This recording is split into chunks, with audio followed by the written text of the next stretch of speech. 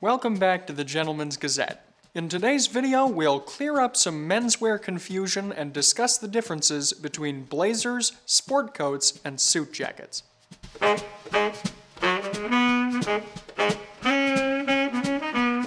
When you shop at a department store or large clothing retailer, chances are you'll probably see most jackets marketed as blazers.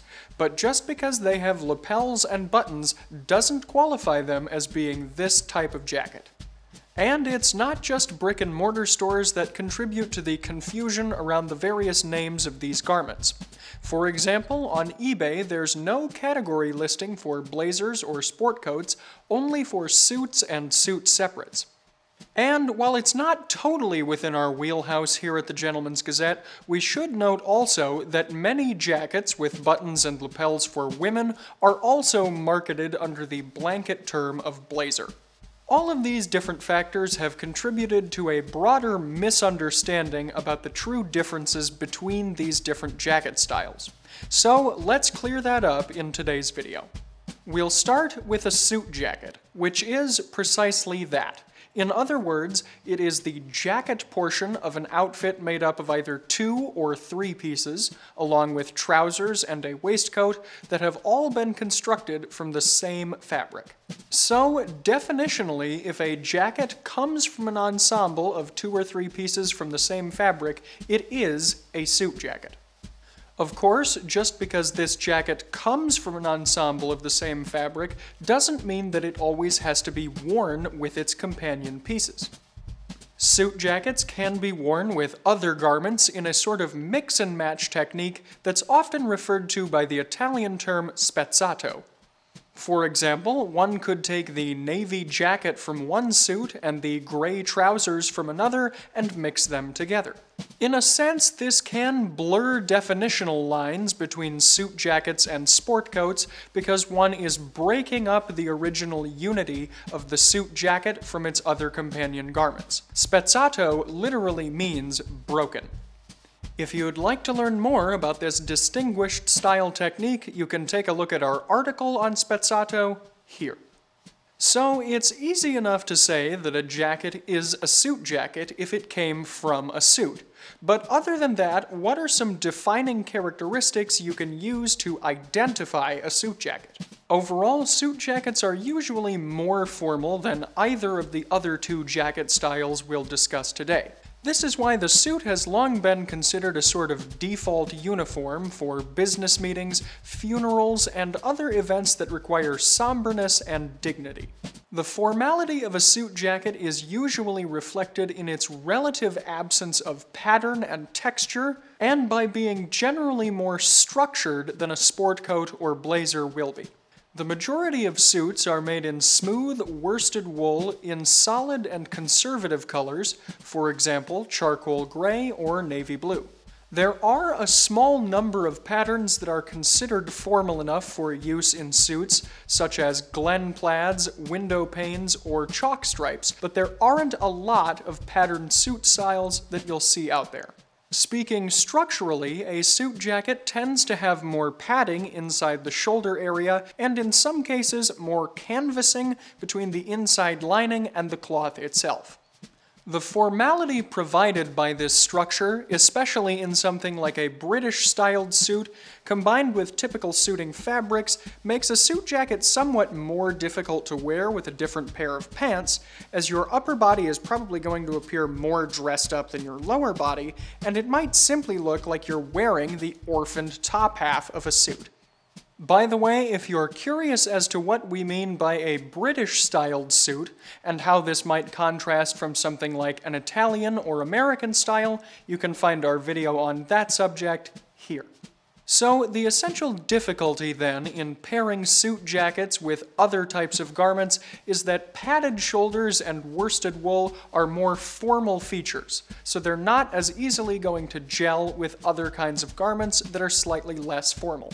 There is a school of thought that says one can lean into this disconnect and pair a formal suit jacket with something like jeans or shorts. But of course, being proponents of classic style, we at the Gentleman's Gazette aren't going to recommend that look. So, while the spezzato technique exists for mixing and matching different suit elements, you'll probably have an easier time pairing odd trousers with a sport coat or a blazer. What do we mean here by odd trousers? Not odd in the sense of being weird or unusual, although some designs certainly can be. We just mean that these trousers weren't made to be part of a suit originally, and therefore they can go with a variety of different elements. Similarly, a sport coat, which is also referred to as a sports coat, sport jacket, or sports jacket, is a type of odd jacket, in that you can mix and match it with other garments easily. In a number of ways, the sport coat can be seen as something of an opposite to the standard suit jacket. Where suit jackets are usually smooth and solid in color, sport coats are more often than not made with textured weaves and fabrics, and they come in a larger variety of patterns and colors. Say, for example, something like a houndstooth pattern on a tweed sport coat. By that token, the presence of bolder patterns and more textured weaves communicates that a sport coat was not originally part of a suit and that it is essentially a more casual garment. As the name suggests, sport coats were originally designed for sporting events in the British countryside, things like pheasant hunting or fishing. While it's not going to be accurate in all cases, one broad distinction to make is that a sport coat would be more appropriate for country wear, whereas a suit jacket would be more appropriate in the city. Of course, given that many men these days aren't going to be wearing any sort of tailored jacket, just wearing a sport coat will still make you more formally dressed than a great many people. Still, a sport coat remains less formal than a full suit and is appropriate for more casual events like weekend parties or picnics. What is it that makes a sport coat less formal then?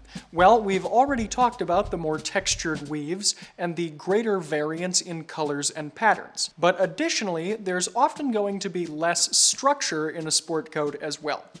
Natural shoulders without padding are common, and summer sport coat styles can often lack an internal canvas or a lining.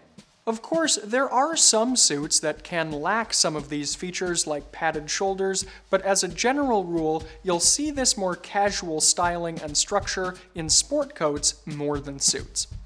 Another casual aspect that will often set a sport coat apart is the type of pockets that it has. While suits will often have flapped or jetted pockets, you're going to see patch pockets on sport coats more commonly, which are generally more relaxed in appearance. This can sometimes include the breast pocket as well, which would usually be welted on a more formal garment. Finally here then, let's go back to the garment whose name is often used as an all-purpose umbrella term for men's jackets.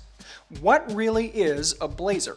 Technically speaking, a blazer is the most specific of these three jacket types because it has to meet a certain set of criteria to qualify as such. One of these criteria, for example, is that a blazer can come in a solid color, most often navy blue, or it can incorporate either contrasting piping or stripes. All other types of patterns technically disqualify a jacket from being considered a blazer. One somewhat common additional ornamentation on a blazer, however, is a crest of some sort, which signifies the heritage of the blazer as a garment worn by men who were members of a particular organization or club. Conversely, you're not usually going to find a crest on a suit jacket or a sport coat. Another key criterion is that a blazer's buttons are going to contrast strongly with the jacket fabric. You're commonly going to see things like gold-colored or brass buttons with anchors on them, or maybe bright mother-of-pearl buttons. As an example here, you're often going to find retailers like Ralph Lauren who cater to a more traditional crowd selling blazers with these styles of contrasting buttons. Whatever their specific details may be, blazers are often intended to be bright and ablaze with color as their name would suggest. For example, the blazers created for the Lady Margaret Boating Club in Cambridge, England are one such garment. They're said to have started this trend of bright blazers being made of red flannel. You're also going to see blazers in other bright colors like green or yellow. The striped versions, which are known as rowing blazers, boating blazers, or regatta blazers, are similarly quite bold in nature. And even the standard navy blazer will command some attention if it has bright brass or mother of pearl buttons. Therefore, any man who's wearing a blazer should either be somewhat extroverted to be able to take this additional attention, or in an environment where blazers are being worn by everyone, such as at a nautical event. In a certain sense, blazers exist somewhat in the space between suit jackets and sport coats.